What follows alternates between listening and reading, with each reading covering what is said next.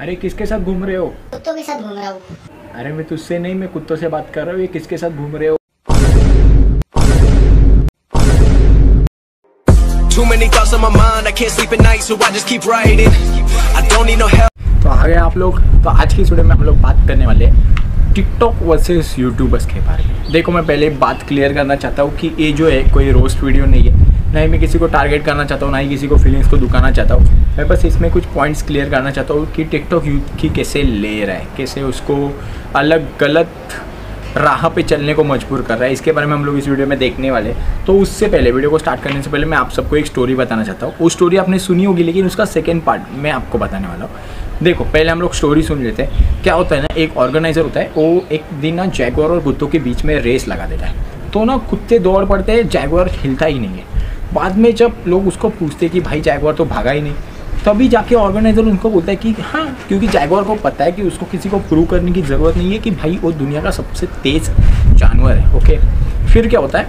Second part में आपको बताता हूँ। वो कुत्ते भागते हैं। कुत्तों में एक कुत्ता जीत जाता है। वो कुत्ते को इतनी अकड़ जाती, आ जाती है ना, इतना घमंड आ जाता है ना कि जाके वो जैगवार को पकड़ लेता है और जैगवार को प्रूव करता है कि भाई, तेरे में दम ही नहीं है तो इसलिए भागा ही नहीं।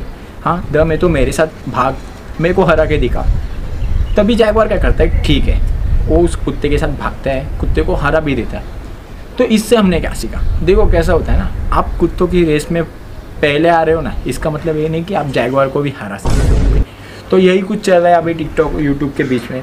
अमीर सिद्दीकी जैसे कि आप सबको पता है बहुत बड़ी कॉन्ट्रोवर्सी फ़िलहाल चालू है। उसने कंटेंट की बात की। तेरा बाप यहाँ छोड़कर गया था कि तेरी यूट्यूबर्स के कंटेंट से बोला यूट्यूबर्स को बहुत सारे नाम रख। के एंगेजमेंट की बातें की।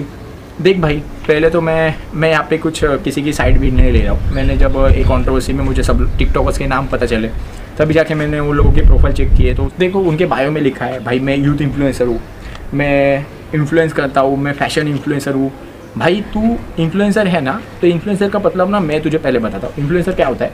अगर तेरी कुछ बात सुन के ना, अगर सामने वाला बंदा मोटिवेट हो रहा है, कुछ अच्छा करने की सोच रहा है, कुछ अच्छी चीज़ें राह पे चलने की सोच रहा है ना तो तू इन्फ्लुएंसर है ओके अभी देख, मैंने पिछले दो वीडियो में नो फैप के बारे में नो मैस्टोबिशन नो पॉन के बारे में बात की।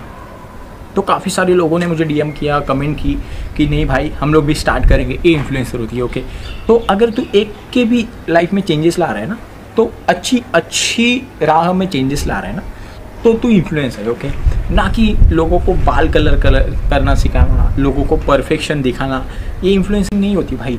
अगर टिकटॉकर्स की बात करें ना तो टिकटॉकर्स अभी इंडिया में one one nine million active users है सिर्फ़ इंडिया से ओके तो इससे एक तो ये चाइना का ऐप है, हम लोग चाइना को कितने सारा पैसा दे रहे ये तो हम लोग प्रेडिक्ट भी नहीं कर पा रहे कितना ज़्यादा पैसा दे रहे अभी दूसरी बार हम लोग अगर देखा जाए तो टिकटॉकर्स क्या करते हैं, देखो? टिकटॉकर की लाइफ की वजह से ना यूथ को भी ऐसा लगने लगा है कि हम लोग भी परफेक्ट रहने चाहिए, हमारी स्किन परफेक्ट रहनी चाहिए, हमारे बाल परफेक्ट रहने चाहिए, हमारे ड्रेसिंग परफेक्ट रहनी चाहिए, जिससे हम लोगों से बंदियाँ सेट होगी, जिससे हम लोग प्रोफेशनल लगेंगे। भाई, ये ये ज़िंदगी नहीं है। ज़िंदगी ऐसी नहीं है कि आप परफेक्ट ही रहो। आप इम्परफेक्ट होके भी कितना खुद को बेस्ट दिखा रहे हो ना, ये ज़िंदगी होती है ओके अभी टिकटॉकर्स को देखे ना, चौदह सोलह साल के लौंडे मतलब बारह बारह साल के बच्चे बालों को कलर करके घूम रहे हैं। भाई मतलब क्या ये इन्फ्लुएंस करना चाहते हो? ये इन्फ्लुएंस कर रहे हो ना तो भाई मत अपने बायो से ना इन्फ्लुएंसर का टैग निकाल दो। अभी बात करते हैं एंगेजमेंट की।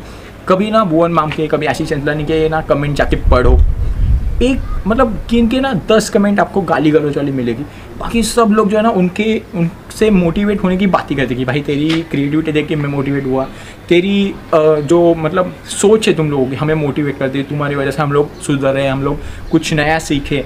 ये इन्फ्लुएंस नहीं होती ओके तुम्हारी कमेंट जाके पढ़ो इंस्टा पे जाके पढ़िया तेरे जो भी तू कोलाब करते हो, तुम लोग किसी कंपनी के साथ गाने निकालते हो।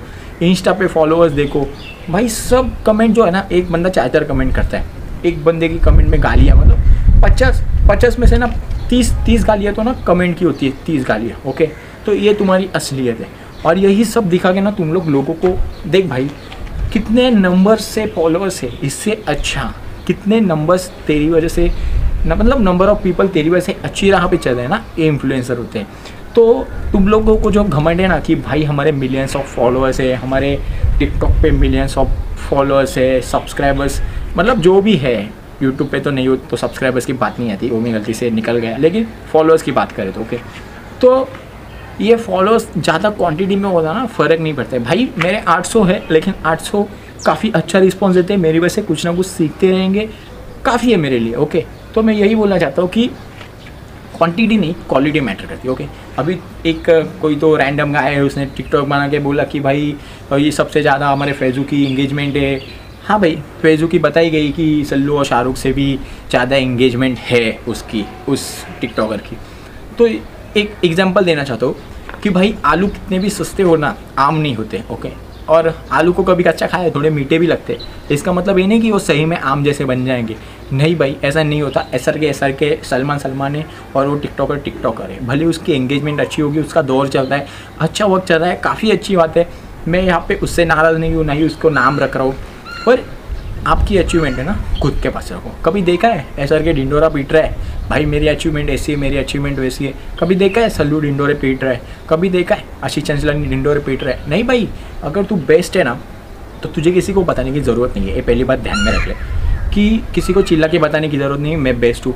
तू तेरी एक्शंस दिखा। अगर तू सही में किसी को इन्फ्लुएंस कर रहा है तो सामने वाला बंदा खुद बोलेगा कि नहीं भाई, ये बेस्ट है और इसलिए मैं इसको देख रहा हूँ, इसलिए मैं इससे इन्फ्लुएंस हो रहा हूँ। ना कि तुझे किसी को पता नहीं की ज़रूरत है। तुझे किसी को बताने की ज़रूरत है ही नहीं। को किसी का, दूसरे का कंटेंट देखने की ज़रूरत है ही नहीं, क्योंकि तू खुद अच्छा कंटेंट सर्व कर रहा है तो। लेकिन अगर तू खुद खुद की नज़र में घटिया है ना तो तू दूसरों को प्रूव करके घूमेगा कि नहीं भाई, मैं बेस्ट हूँ।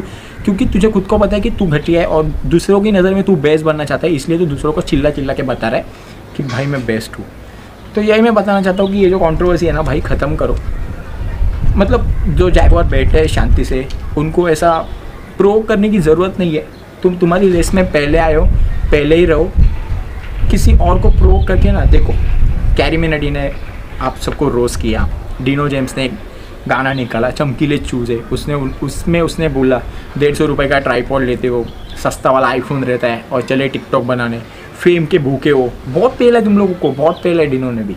तो मैं यही बोलना चाहता हूँ कि अभी तो कैरी की वीडियो ने रिकॉर्ड तोड़े, कैरी की बात हुई, डिनो की बात हुई।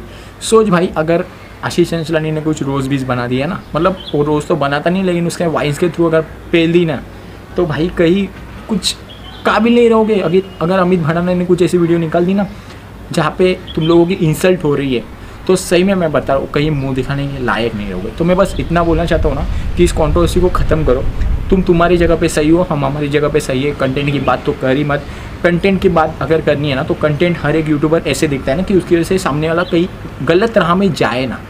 ऐसा कंटेंट हर यूट्यूबर देखता है। मैं खुद काफ़ी कंटेंट पे रिसर्च करता हूँ। कई मतलब मुझे डर लगता रहता कि मैं कहीं गलत चीज़ ना बोल दूँ जिसकी वजह से सामने वाला कुछ गलत मीनिंग निकाले ना, या फिर वो गलत डिसीज़न ना ले उसकी लाइफ में, या गलत राह चुने ना मेरी वजह से। क्योंकि मैं किसी के लिए जिम्मेदार नहीं रहना चाहता। हाँ अगर कोई मेरी वजह से अच्छा कर रहा है ना तो उसके लिए मैं खुश हूँ, मैं जिम्मेदार हूँ। हाँ लेकिन मैं नहीं चाहता कि मेरे वजह से कोई गलत करे तो तुम लोग ना यही मैंटेलिटी रख के चलो। लोगों को यूथ को अच्छा अच्छा कुछ, बोलते हैं ना, कुछ अच्छी राह दिखाओ, अच्छी तरह से इन्फ्लुएंस करो। और ये जो ऐसे कलर वाले बाल भाई ये, तू बोलता है ना रोस्टिंग इंडियन कल्चर नहीं है। भाई ये कलर वाले बाल भी ना इंडियन कल्चर नहीं है ओके ये, वो गमछा लेके बैठा है भाई तू वीडियो में। क्यों? और लेदर का जैकेट भाई मतलब तेरा सेंस देखा है तूने भाई? और तू चला इन्फ्लुएंसर बनने। भाई तेरे मतलब अभी आप सबको पता है मैं किसके बारे में बात करूँ? मैंने उसका इंस्टा का प्रोफ़ाइल चेक किया ना भाई। हर दो फ़ोटो के बाद बालों का कलर चेंज है। मतलब भाई मैं मेरे घर का कलर भी ना तीन साल में एक बार बदलता रहूँगा, पता है देखो तो बालों का कलर भाई, दो दो दिन में कौन बदलता है? कभी नीले, कभी पीले, कभी हरे ब्लू पिंक मतलब क्या ये, क्या इतने इतने सस्ते? थोड़ा भाई, नशा भी कर रहे हो ना तो सस्ता नशा मत करो। कुछ अच्छा काम करो, कुछ महँगा नशा करो, ताकि लोग भाई हाँ भाई, ये नशा करता है, लेकिन अच्छा नशा करता है।